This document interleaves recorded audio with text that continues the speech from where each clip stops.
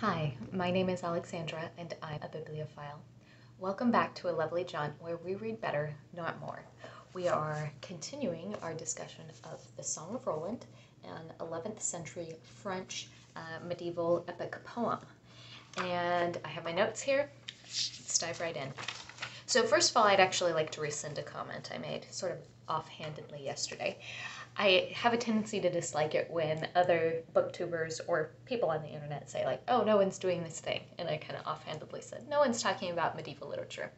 Obviously, I don't know that. There could be some really great channels out there that I just haven't found yet. And, um, and it, I mean, there could be people out there who know a lot more about medieval literature than I do who are like, oh my gosh, this girl doesn't even, she doesn't even know what she's talking about, and she's not recognizing that we exist. So I wanted to rescind that comment. So we're in the middle of the convocation, the sort of conversation that Charlemagne is having with his lords, deciding of what to do. And we wrapped up with Roland talking about how he wanted to, uh, basically, he distrusted the suit for peace. He pointed to a previous situation where the representatives from Charlemagne were beheaded, and that he thought we should just continue uh, attacking Saragossa. All of the other French lords, however, vote for peace. And here we see a really good picture of a constitutional king. Ganelon is also selected by consensus to be the representative to go to Marsilion. And I think he, in this kind of structure, this symbolic representation of Charlemagne, which we now find out is 200 years old, so he's now taken on these mythic, epic proportions in conjunction with the symbolism that we talked about for him as sort of like an earthly representative of God the Father. So, with that, plus the constitutional monarchy type situation going on, we actually have a really good picture of sort of free will theology for the Christian faith because we see that it Charlemagne kind of lets how you know the chips fall where they may that let he lets the votes fall. So even when roland comes out and he gives a very bold and strong speech he doesn't say yes or no to him. He lets the other opinions come through and he goes where and makes the decision based on the consensus of the group of lords. He doesn't necessarily override one person or another. And that's in juxtaposition with what we see marsilion doing who's much more represented as a barbarian type king if you will Ganelon, of course, doesn't want to go, probably because the other two representatives got their beheaded, but he requests to have his sins absolved before he goes. And one thing that I think is really different here compared to some of the other medieval literature that I've read.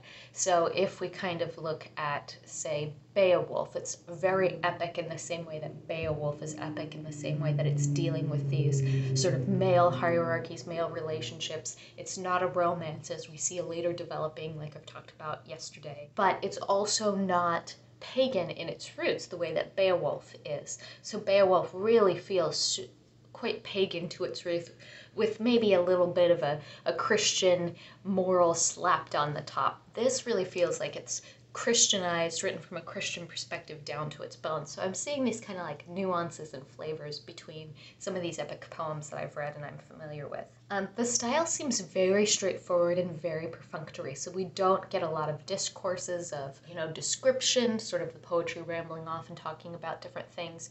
We don't get a lot of, you know, inner world building where we see the psychology of various characters. The characterization is really based and developed through their actions and their speech, but particularly their speech. I was really impressed by how strongly, even in the form of the poetry, the different voices of the characters came through.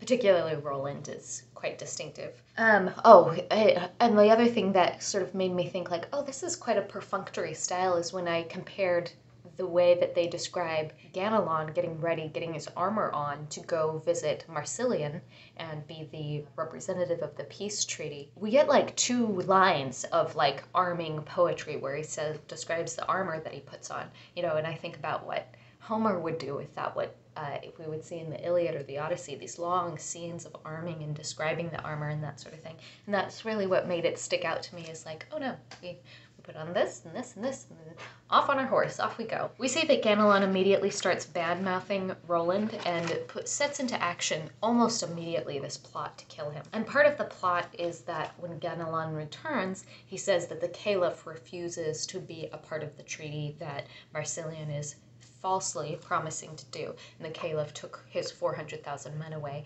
And this is really speaking to the idea. And, and one, on the literary level, it creates a really nice parallelism where we have the court of Marsilion and his kingship, and then we have the court of Charlemagne and his kingship, and how they each sort of rule and deal with their lords and make decisions and blah, blah, blah, are compared and contrasted. But essentially, the poet is assuming that they have the same sort of hierarchical structure that we talked about last time time, which is that if a lesser lord sort of leaves the battlefield or decides not to fight, he takes his men with him.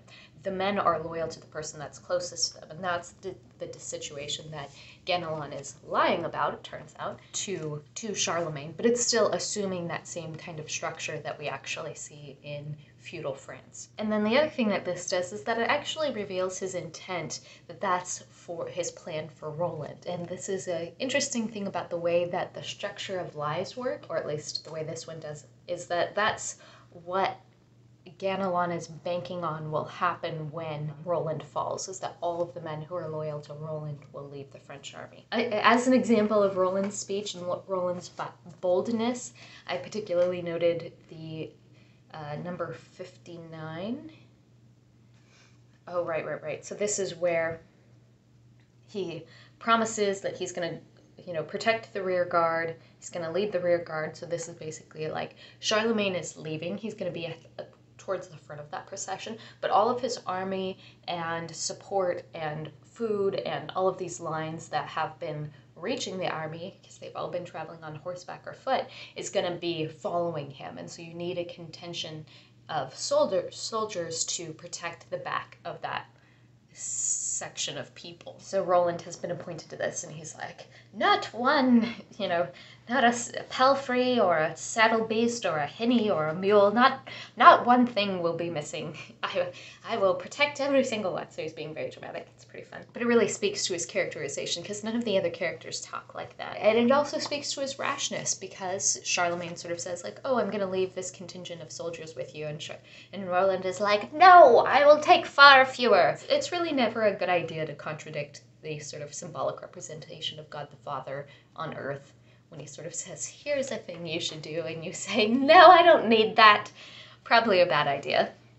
So it sort of sets up Roland's folly for what we know is going to be coming. We get introduced also to Marsilion's nephew. So here we have that same nephew uncle dynamic that I've talked about with medieval literature in the past. We even get it um, with Hamlet. And ultimately, what it comes down to is that power was ha- uh, inherited matrilineally in many Breton tribes, and that sort of becomes a trope within these stories. And that's why you would might have tension between a king and his nephew, because it would be the nephew on, you know, if his wife, the queen, had a sister or a brother and they were married and had kids, and if the king himself didn't have a king, then it would go to the sort of aunt and uncle child on the wife's side of the family, not on his side of the family. And so that would be a potential point of tension. Not so in this book, but the nephew does say that he wants 12 lords, which we see is the same structure that Charlemagne has. Charlemagne has 12 lords. And again, I think this goes back to sort of Christian numerology, Christian imagery. We have the 12 tribes of Israel, we have the 12 disciples. It's this really important number in biblical uh, imagery, really. And I think it really speaks to again that sense that like this story is christian down to its bones. It's not a christian ethic or moral kind of layered on top of a much older story. So that is what i have for you today. I think i'll probably finish the rest of this and then over the course of the next two days thursday and friday hopefully we'll wrap it up by the end of this week. And until next time famous last words that's what you said about emma. But this book is actually really skinny. But uh, anyway, until next time, my name is Alexandra, and I'm still a bibliophile.